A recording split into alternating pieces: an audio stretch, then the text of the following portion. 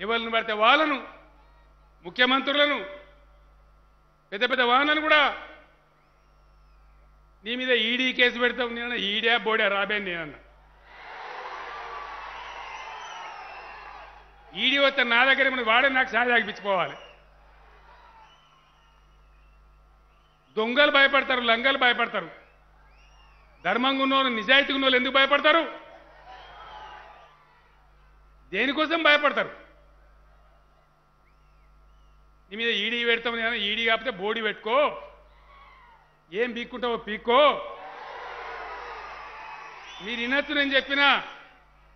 ప్రజల కోసం నిలబడే వాళ్ళు ప్రజల కోసం ఆలోచించే వాళ్ళు ప్రజల మేలు కోరే వాళ్ళు పేద ప్రజల కడుపు నిండా బుక్కడ అన్నం దొరకాలనే వాళ్ళు నీకు భయపడరు మోడీ.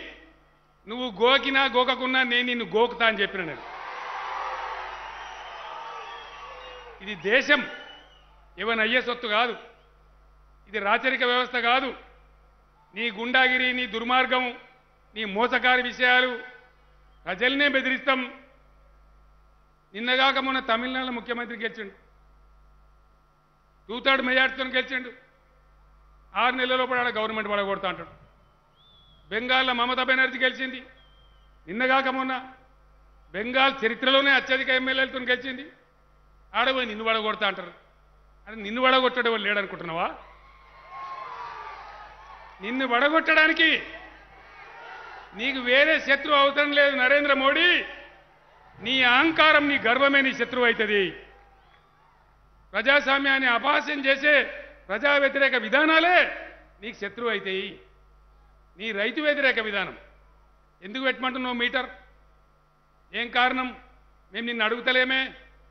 నిన్ను బతిలాన్న మామైన పైసలు ఇమ్మని ఉన్నంతలో మా రైతులు ఎందుకు? ఇదే నల్లగొండ జిల్లా రైతు బిడ్డలు పాలమూరు రైతు బిడ్డలు ఇంకా అనేక జిల్లాల వాళ్ళు. పది ఎకరాలు ఇరవై ఎకరాల రైతు ఉన్నోళ్ళు కూడా హైదరాబాద్లో వచ్చి ఆటో రిక్షాలు నడిపింది ఏడిసినాం మేము కళ్ళతో ఆ రోజు. బాధపడ్డాం. మా ప్రాజెక్టులు కాలే మాకు నీళ్ళు రాలే కడుపు నిండా కరెంటు రాదు.